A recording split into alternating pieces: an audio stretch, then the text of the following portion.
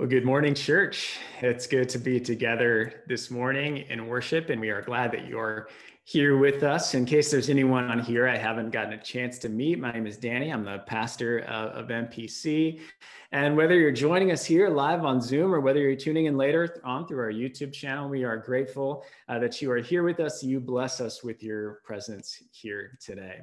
On behalf of our staff, I also want to wish everyone a happy new year, a happy 2021. It is good for us as the people of God uh, to begin this year with uh, in, in, worship and in, and in praise uh, to God who, who loves us and who, who blesses us and then pronounces his favor over us. And uh, today we are gathering to recognize and celebrate the day of Epiphany, which is the day that is celebrated in the church on January the 6th, but we're celebrating it today on the first Sunday of of the year. And I'll say a little bit more about that later on uh, in the service. And now, uh, among uh, our, our, blessings today as a family of faith is to be able to celebrate communion together today, which is our custom on the first Sunday of every month. Uh, so, our tradition uh, has been uh, during the season of vir- virtual worship, which is to provide our own elements, something for the bread and something for the cup. so, whatever you have on, on hand in your kitchen would work just fine. Uh, so if you want to take a moment now or sometime during the service to, to grab some communion elements for you and, and for, for your house or for your household, uh, you would be welcome, most welcome to do that. And uh, we've just come into a new year, obviously. So we're now looking at 20, 2021. So if you want to get a sense of what's coming up in the month of January, I'd, I'd take you to our January announcer newsletter, which was sent out via email a couple of days ago.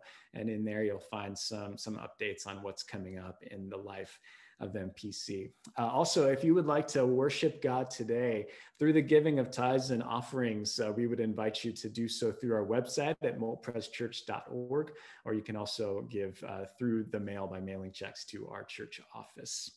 Uh, but now let's uh, let's do what we came here to do. Uh, let's turn our attention uh, to the God who uh, who loves us. Let's um, sing to the God who also sings over us, as it says in the book of Zephaniah. Friends, welcome to worship.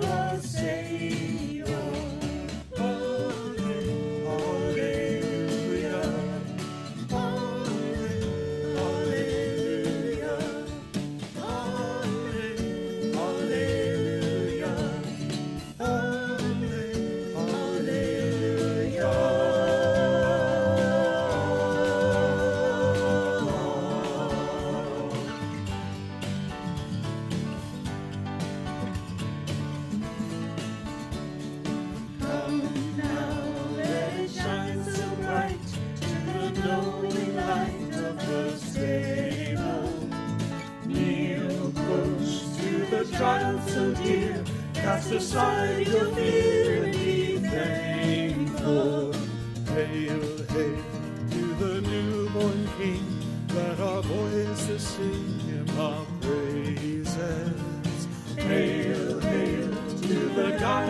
life to our Savior. Oh,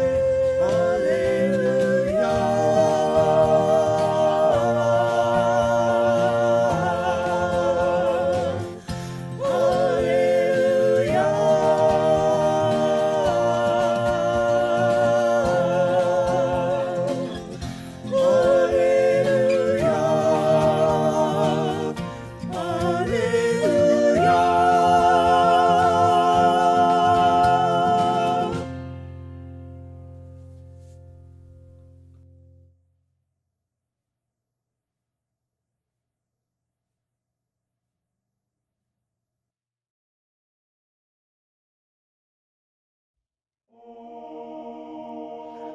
the star, is the darkness, shining hope to all the earth. See the sky, blaze with glory, angels praise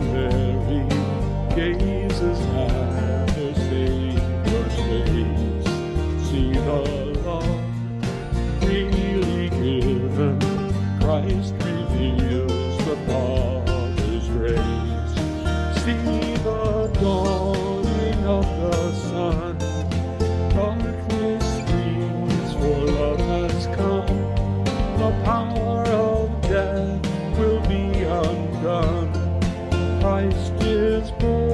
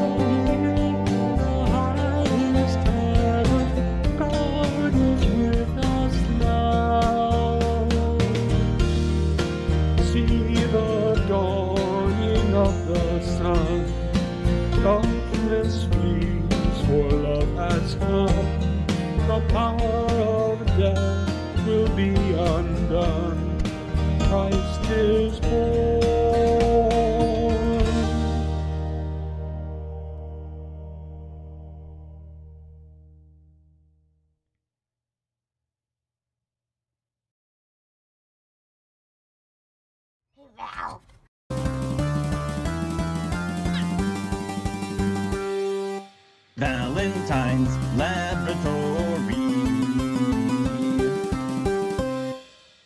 We're making 2021 better with our music, Silas. We got to make sure that 2021 doesn't turn into 2020 all over again. So help me put stickers on this thing. Okay? We need to get stickers on this to make it better. We got to make all this stuff better. You wanted to put this Pikachu sticker on here because this wasn't good enough, right? We need to make this one better. Where's the Pikachu sticker No, no, no. No, it is good enough. It's gonna go in mine. On yours? Oh, okay, okay. But where should these stickers go on here to make it this better?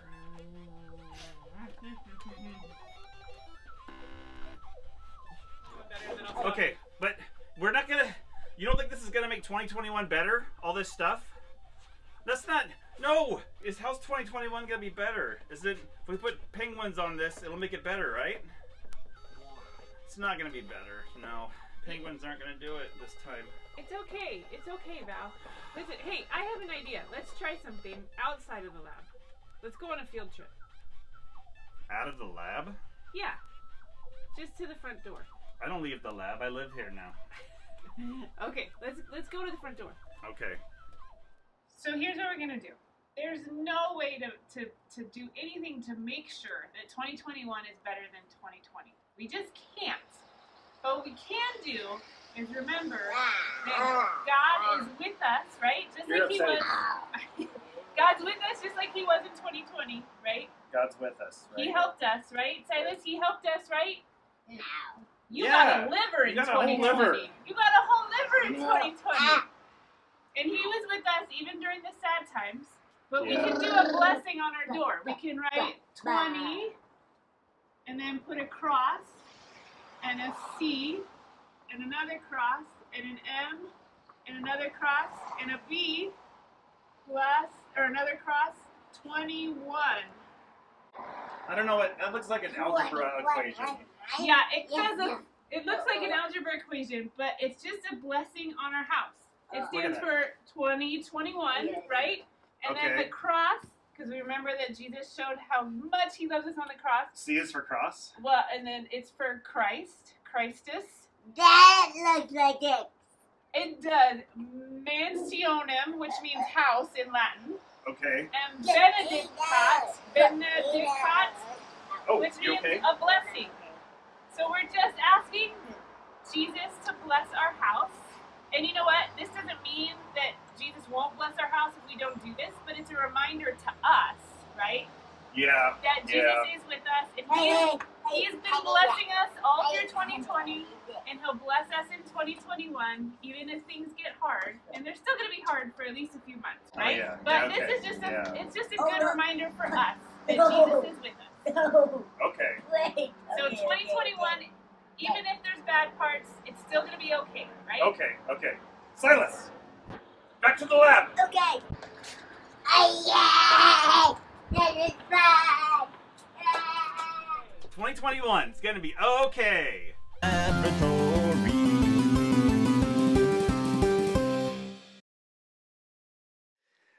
Well, it's good to start off 2021 in Val's lab. Thank you to Val, Heather, and Silas. And now, as we uh, continue to engage with uh, the Word of God, let's uh, let's join our hearts together in in prayer and and ask that uh, that the Lord would reveal Himself to us in this time. Let's pray.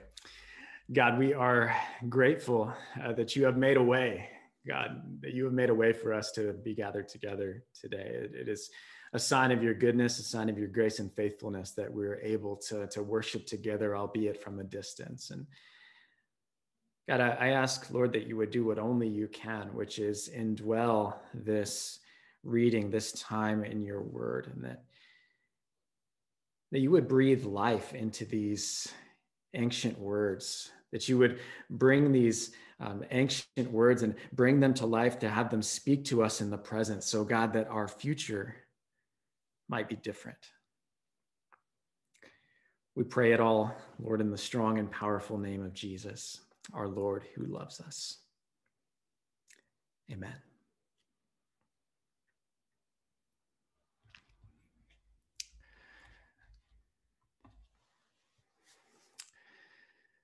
So, this is the new year. You know, over the past several months, I've heard the sentiment more times than I can count. I can't wait for 2020 to be over. Right? Won't it be nice when we can finally put this year behind us? You know, I have to say that that New Year's, out of all of the holidays that we have on our calendar, tends to be, I think, the most anticlimactic of them all right? Because we begin this new year with a ball drop and confetti with hope and expectation. But the fact is that when we enter a new year, nothing really changes except for a, a number on, on a piece of paper. And, and I don't mean to sound sound cynical here because I have hopes and dreams for this year, as I'm sure you do as well. Uh, but what I'm saying is that if we pin our hopes to, to a new year, then we will certainly be disappointed. I would say that in general, the new year just, just doesn't live up to the hype. And now this is why I love that, that as the church, we begin the year with the day of Epiphany. Now, Epiphany doesn't tend to get a lot of attention or hype, but in, in, my house, I'm always adamant that our Christmas decorations stay up until January 6th, until Epiphany, because Christmas really isn't over until then. No judgment. If you already took yours down, it's okay. I realize I'm kind of a nerd about this stuff, but, but as we begin a, a new year together, something tells me that we really need the day of Epiphany. Because unlike New Year's, Epiphany lives up to the hype. It doesn't disappoint because Jesus doesn't disappoint. You know, on the day of Epiphany, the church remembers the story of the Magi, the wise men who, who followed a star that, that led them to Jesus. And we don't know exactly who these wise men were or where they came from, but we do know this. We, we know that in Matthew 2, it says that, that, that the Magi came into the house where Jesus was. And they saw him there with his mother Mary. And, and it says that they bowed down and, and they worshiped him. You see, the Magi, after their long journey from God knows where, when they saw Jesus, there was no disappointment, there was no let, let down. Jesus lived up to the hype. And so much so that they presented him with gold and, and frankincense and myrrh, gifts that were fit for a king. So, church, we need this day because this day doesn't disappoint. Epiphany lives up to the hype. And this morning, instead of looking to the story of the, the wise men, what we're going to do is we're going to go back to the book of Isaiah, chapters 59 and 60. Now, the book of Isaiah is a really lengthy book. There's a lot going on in Isaiah. It's 66 chapters all together. Now, it, but it is so rich and so beautiful. Author Eugene Peterson calls the book of Isaiah God's symphony of salvation, which I think is a wonderful way of describing the book of Isaiah. And I'm going to put up a slide here on the here on the screen uh, that will, you know, help us orient that will help orient us to the the book of Isaiah. So here, here it is. The interesting thing about Isaiah, you see, is that it's actually three books in one. You see, in Isaiah, we have prophecies that were spoken to Israel at three different points in, in history. And I won't go into all of these in detail because really that would be a sermon unto itself. But right around 600 BC, the Babylonian Empire seized control of Jerusalem and destroyed the temple of the Lord. And, and many of the Jews were carried off into exile in Babylon, where they lived as strangers in a foreign land. And in just a moment, we're going to look at some scripture from Isaiah 59 and 60. And as you can see there on the slide, this prophecy took place after the, the exile. Once the Jews were given permission to return home, which some of them did, and some of them remained scattered across the region. Uh, but here we're going to take a look at, um, at a passage. This is Isaiah 59, starting in verse 9. So I invite you to hear uh, God's word. Isaiah writes So justice is far from us, and righteousness does not reach us. We look for light, but all is darkness. For brightness, but we walk in deep shadows. Like the blind, we grope along the wall, feeling our way like people without eyes. At midday, we stumble as if it were twilight.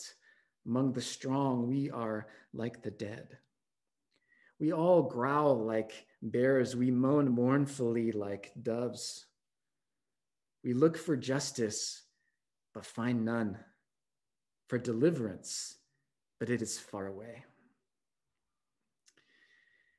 You see, at this point in time, God's people felt lost and completely disoriented.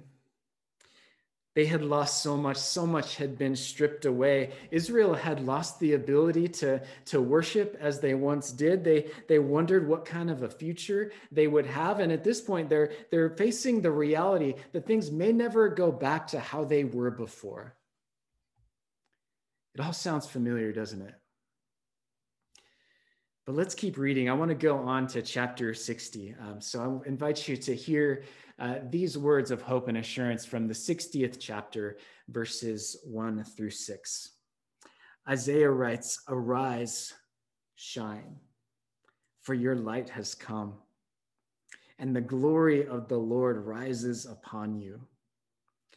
See, darkness covers the earth, and thick darkness is over the peoples but the Lord rises upon you, and his glory appears over you.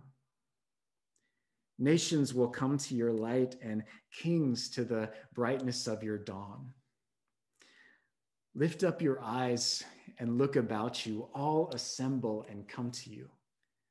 Your sons come from afar, and your daughters are carried on the hip. And then you will look and be radiant your heart will throb and swell with joy. The wealth on the seas will be brought to you. To you, the riches of the nations will come. Herds of camels will cover your land, young camels of Midian and Ephah, and all from Sheba will come, bearing gold and incense and proclaiming the praise of the Lord. So, friends, this is the word of God for the people of God. Thanks be to God.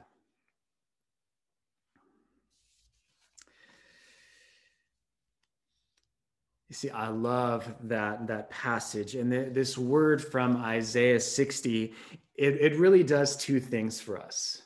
It gives us hope and it also gives us purpose. This prophecy gives us hope and it gives us purpose.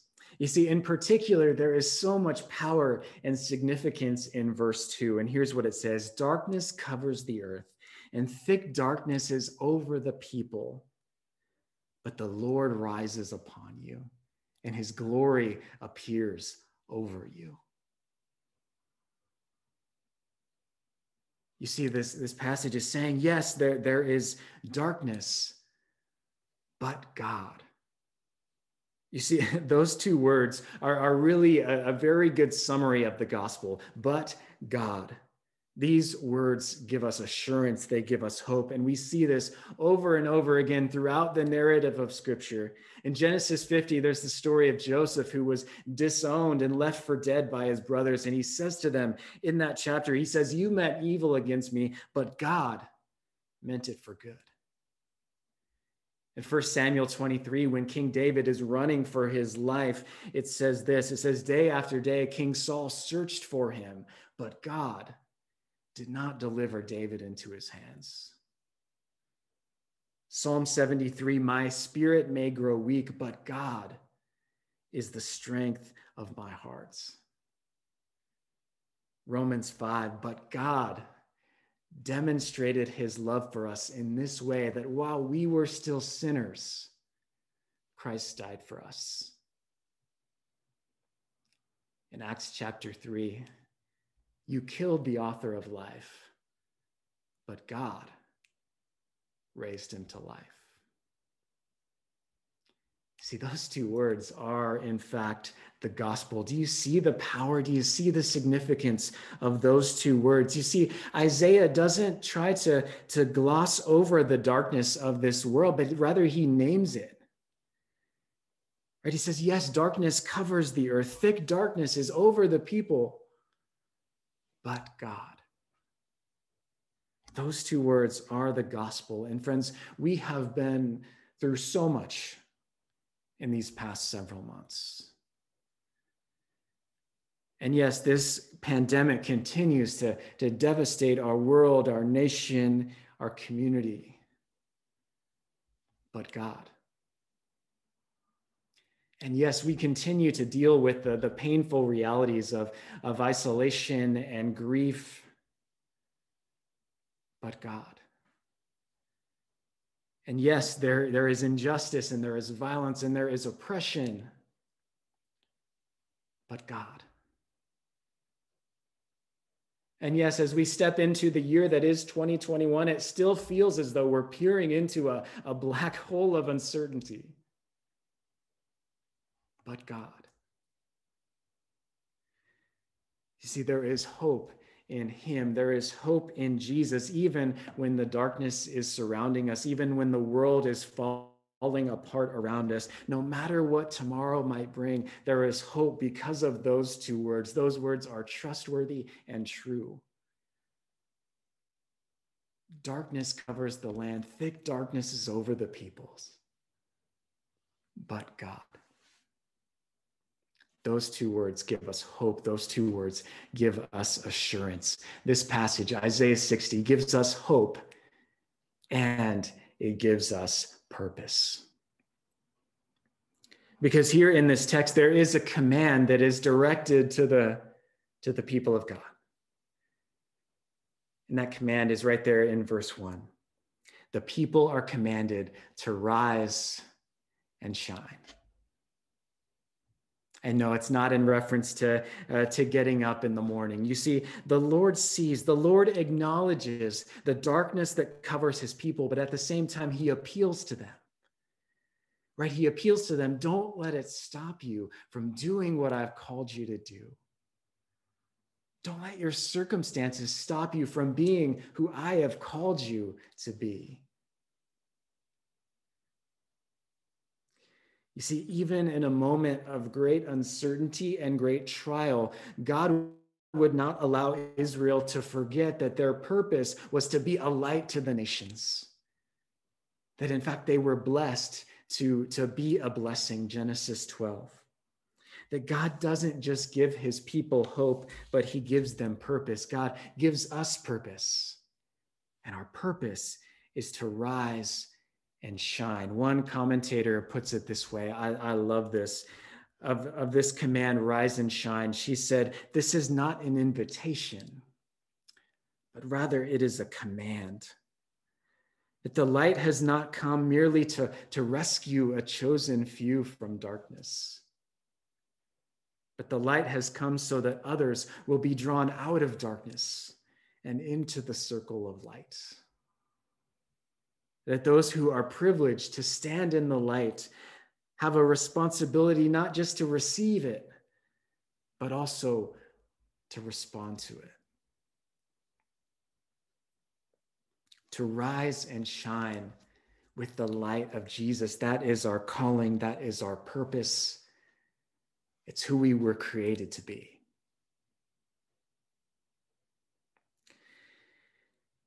And you know, we are stepping into this new year with a profound awareness of how broken, how unpredictable, how unstable this world is. And we wonder, we, we ask, this year, are, are things going to change? Are, are things going to get better? Will this year be different? And like I said, these are they're questions that maybe we can't help but ask right now, but I can't help but wonder if there are better questions for us to consider as we step into 2021. That instead of asking how this year will be different, a far better question would be to ask how how will we be different? That instead of asking when things will change, a better question will be how will our lives change? Or better yet, will we allow the Lord to change our hearts and our lives?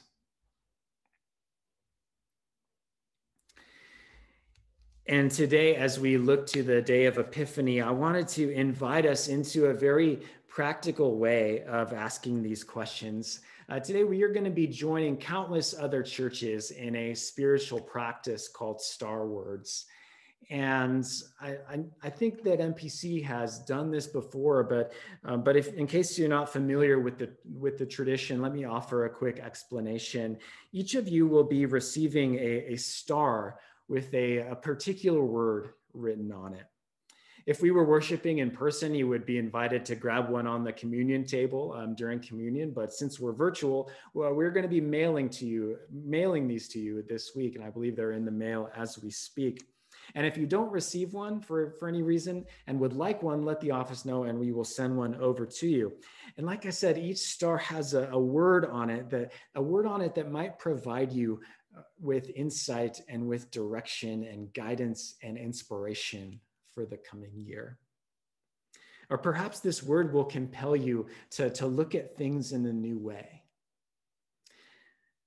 So, what we'd invite you to do is take your star when you receive it. This one has the word uh, the word abundance on it, uh, but take your star and, and put it up somewhere in your in your home where you'll see it every single day and pray and reflect on that word and allow it to, to guide you into this year. And you just might be surprised at how the Holy Spirit speaks to you just through, through one simple word. You know, a couple of weeks ago, um, you may have seen that the, the Christmas star was visible in the sky. Although it wasn't really a star, it was a conjunction of planets of Jupiter and Saturn.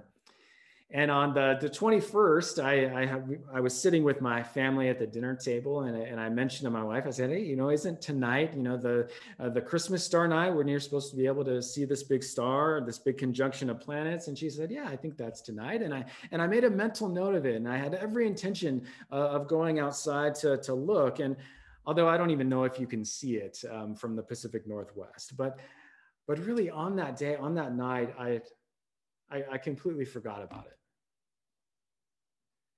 And this got me thinking how often do we forget to look? How often do we forget to look for what God might be doing in our lives? That how often do we choose to stay where we are instead of opening ourselves to God's leading and transformation in our lives? So, this is what the, the star words are all about to help us bring um, purpose and intention to our living. So, church, may this be a year May this be a year wherein we open ourselves to the Lord. Let us open ourselves to the one who gives us hope, the one who gives us purpose. Let this be a year where we hear, receive, and respond to the command of God, his command to rise and shine. To God our Father be the glory forever. Amen.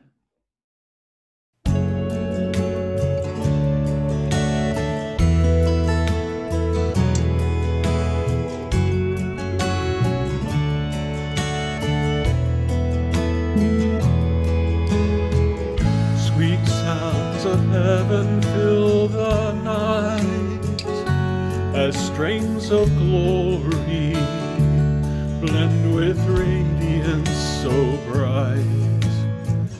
And herald angels sing the story of delight to welcome Jesus to the world.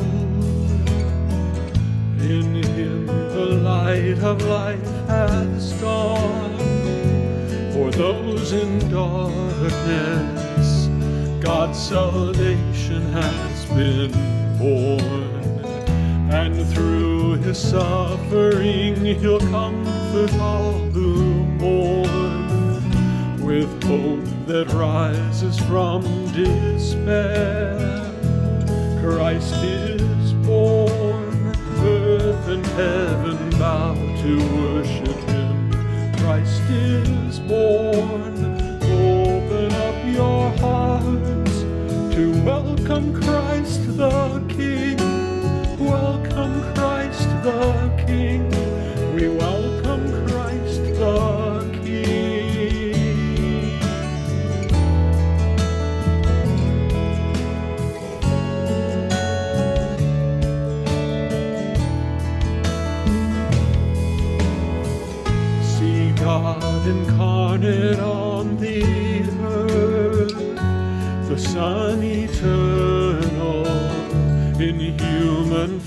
by virgin birth. The second Adam born to lift us from the curse, restoring righteousness in Him.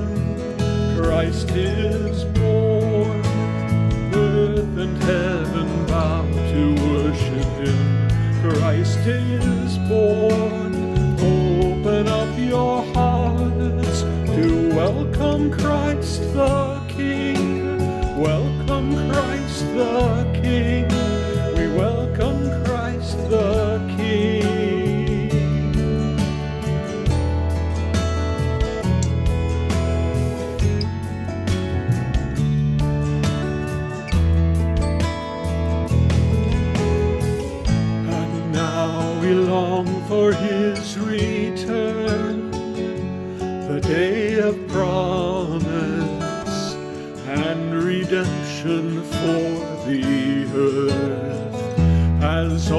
creation waits with every heart that yearns to welcome Jesus to the world.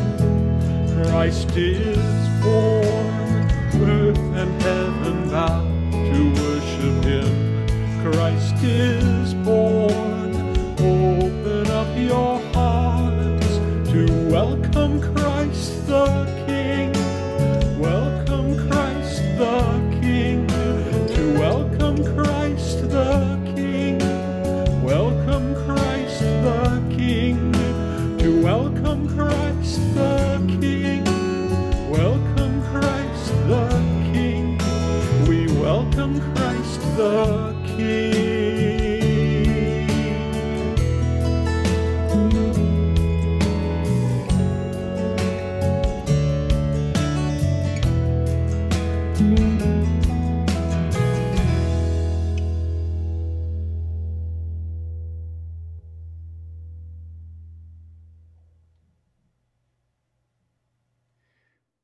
Friends, this is the joyful feast of the people of God. And if you haven't gotten a chance to, to do so, if you'd like to head into your kitchen and grab some elements, you are welcome to do so at this point. And we, we know from scripture the, the character of, of God and his son, Jesus Christ. We see that no one is turned away at his table.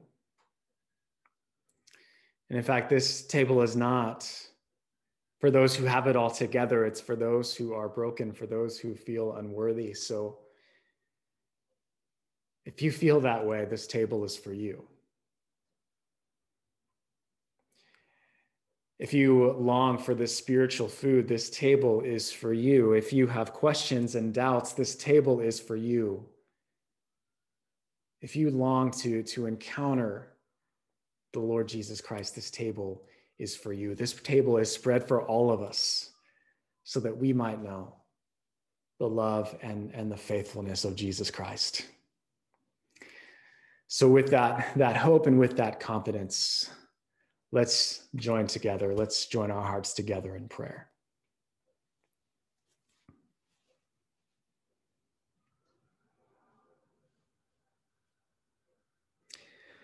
Holy God, this table is a sign of your faithfulness and love for us, your love that is so perfectly demonstrated in the person of Jesus.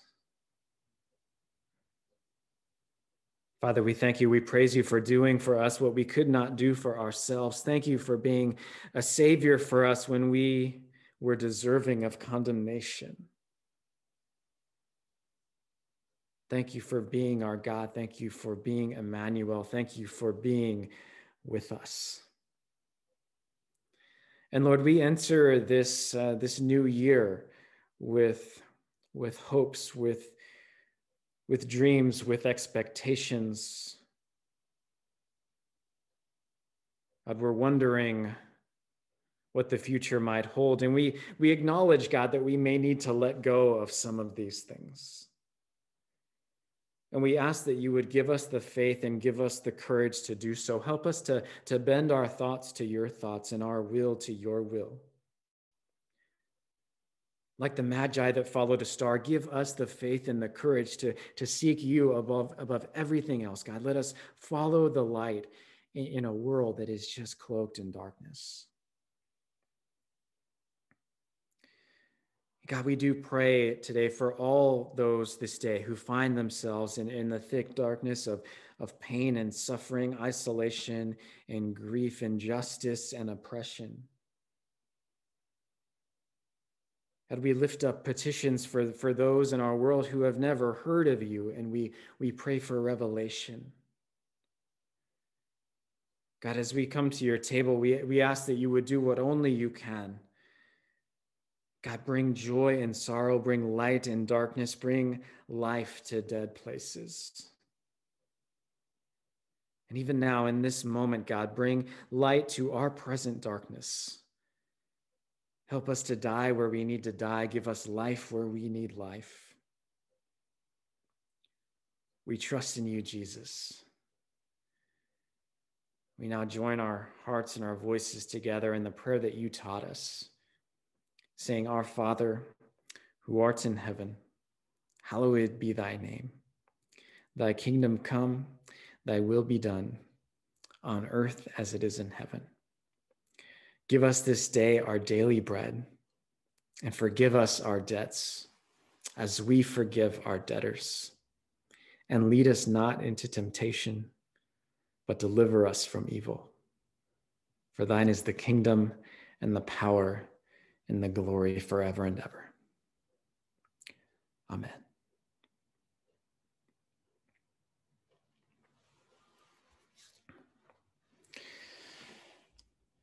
Friends, our Lord Jesus, on the night he was betrayed and arrested, gathered with his disciples in an upper room, and he took bread. And after giving thanks to God, he broke it. And he gave it to his disciples and said, Take this and eat it, and do this in remembrance of me. And in the same way, after supper was over, Jesus took the cup and he said, This cup is the new covenant, sealed in my blood, shed for you for the forgiveness of sins. Whenever you drink it, do it and remember me. For church, whenever we eat this bread and drink this cup, we remember the saving death of our Lord Jesus Christ until he comes again, and he will. He will come again in a new and, and glorious way. So at this point, I'd, I'd invite you to take your bread or whatever you happen to be using.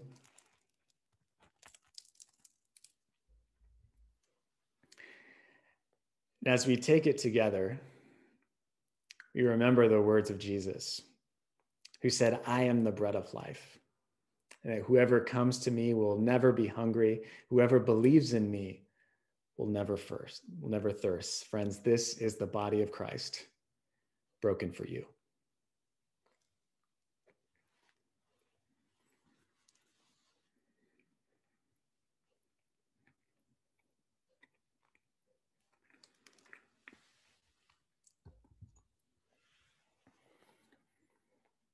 Now I'd invite you to, to now take your cup. As we take it together, we remember that Jesus is the true vine. And if we abide in him, then we will bear much fruit. Friends, this is the blood of Christ shed for you because he loves you. Amen.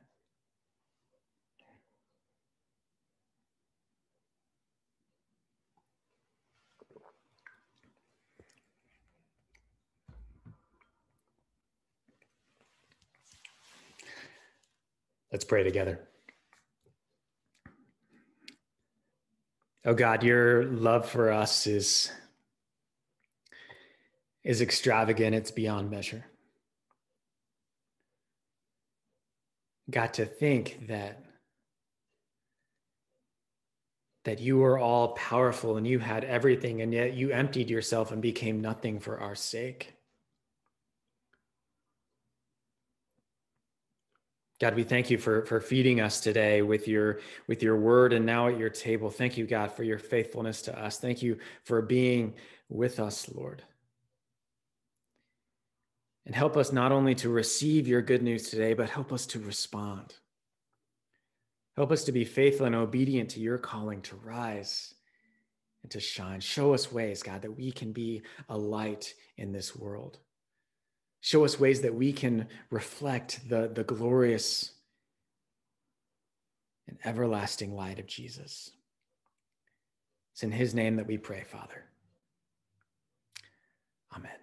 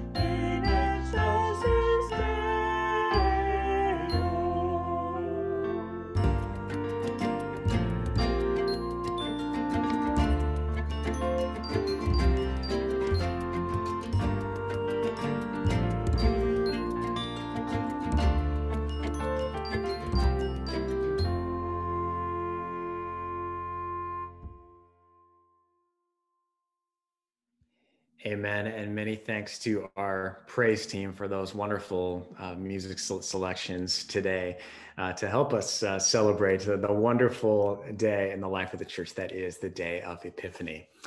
Uh, following this closing blessing in a few moments, we will open our breakout rooms, and you are more than welcome to join one of those if you'd like to pop in and say hello to some other folks in the MPC family. We would love to see you. You're certainly welcome to, to join us. All are welcome. And now, friends, as we close our service, may the Lord bless you and keep you. May the Lord make his face to shine upon you and be gracious to you. May the Lord look upon you with favor and give you his peace this day and forevermore. And let all God's people say, Amen.